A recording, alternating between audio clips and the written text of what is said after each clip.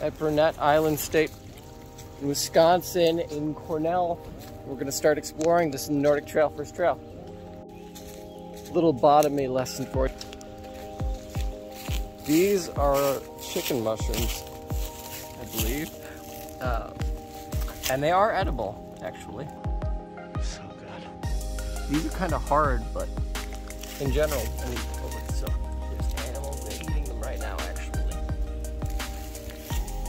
all over this tree. Oh my gosh, there's so many. So if you're ever lost in the woods, these are something you can look for. Just make sure you're eating the right kind and it's not something else.